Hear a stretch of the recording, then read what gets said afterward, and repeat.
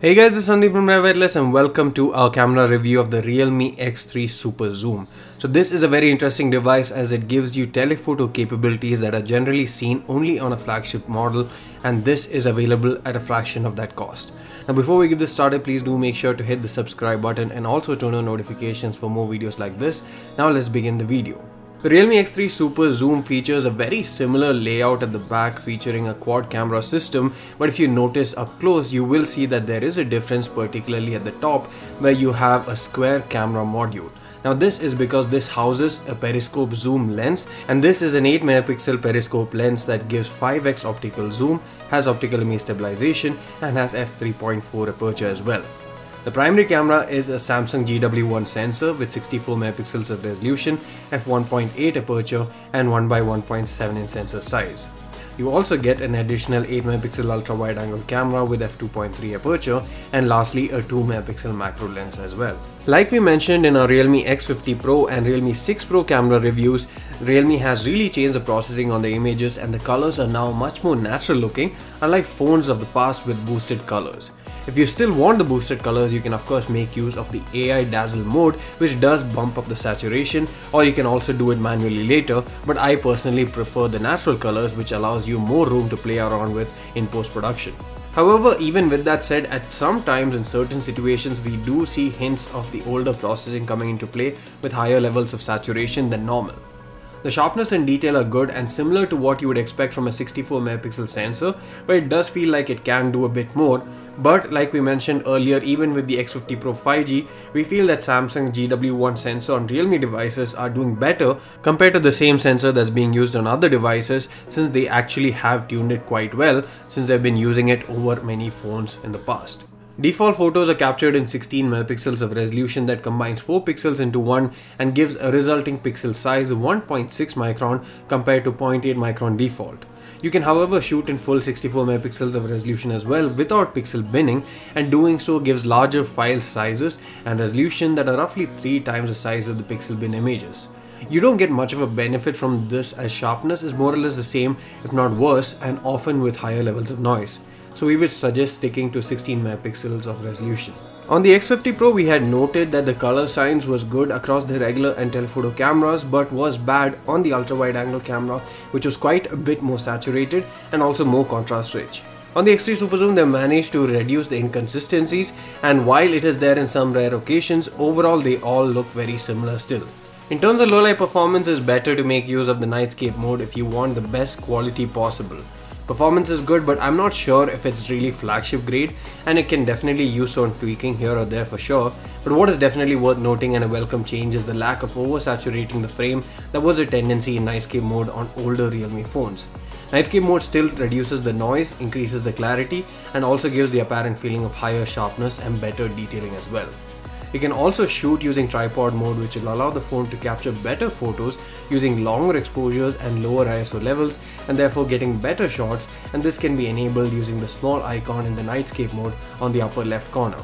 One of the main things that Realme is highlighting with the X3 Super Zoom is the ability to capture starry night sky photos and this is possible with both the telephoto as well as the primary camera. And while it does give better results in terms of low light imaging, we were not able to capture starry night sky particularly because there are a lot of clouds these days over Bangalore so we were not able to get a clear night sky. We'll repeat the same process in the future and hopefully we'll come up with a separate video that highlights the abilities as well as reviews the starry night sky modes for you. The night mode also helps to increase the dynamic range in daylight photos especially when you look at the ultra wide angle camera which has a slightly limited dynamic range especially in those difficult lighting conditions. The ultra wide angle camera helps to capture a more dramatic field of view compared to the regular camera but the images are much softer and aren't as detailed. There's also a difference in saturation as well as the contrast and color tone between both the cameras, but the most noteworthy point are the chromatic aberrations. The macro camera works well in terms of being able to focus really up close and get as close to an object or subject as possible, but in terms of the sheer image quality, the macro camera isn't great.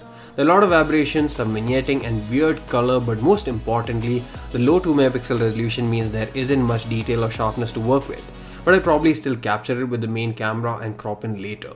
Now coming to a telephoto camera which is actually one of the best things about this camera device is that it features a 5x optical zoom and it can go all the way up to 60x but of course that is largely digital and while you can get photos they are largely unusable at that range. It can rather be used as a viewfinder to obtain information that's far away. Say a signboard or number that's far but you want to get it without going closer to it. This can be used for that. As for regular usage, up to 10x you have amazing shots with great detail and sharpness, while up to 20x it is fairly usable as well. Now I would stick to 10x max personally as that is enough for more than 99% of the scenarios and the telephoto color profile is very similar to the primary camera as we mentioned earlier. There are quick toggles for 2x, 5x and 10x and the 2x mode is actually a crop of the primary camera itself but still it gives very impressive results and noise is present in most of these shots but again it's not too evident unless you pixel peep. Now the optical stabilization is also pretty good and while it's not as great as say the Find X2 Pro or the flagship devices from Huawei, these kind of results that you get with the telephoto camera are unmatched especially in this price point from a camera phone. Portrait mode can be used at 1x or 2x and portrait mode works well for objects with excellent edge detection and blurring albeit with higher than appreciated softness on some edges.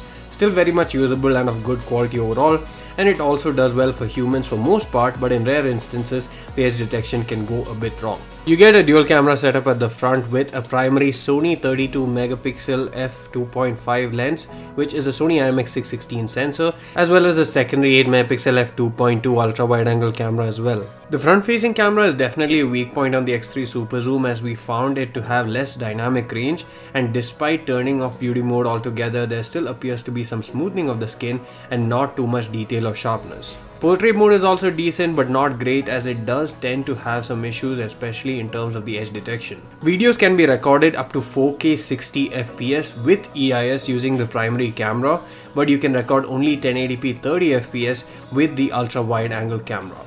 The benefit of the X3 Super Zoom is that you get EIS all round that is with the ultra wide angle camera, the primary camera, the telephoto camera and even with the front facing camera.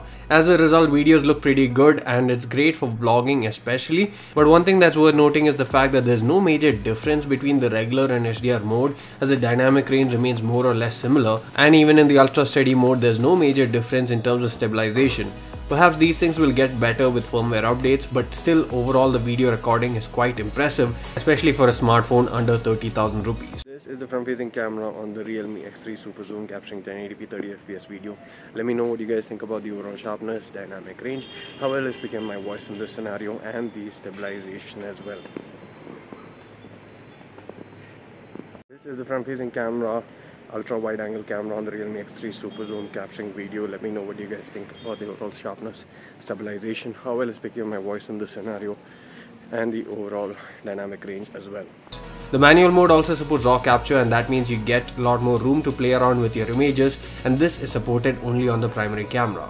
Overall, the Realme X3 Super Zoom is actually a very great camera device. It gives you great video all around, gives you good photos overall, and especially gives you great telephoto experience that you can find only on higher end flagship devices that generally cost upwards of 50 or 60,000 rupees.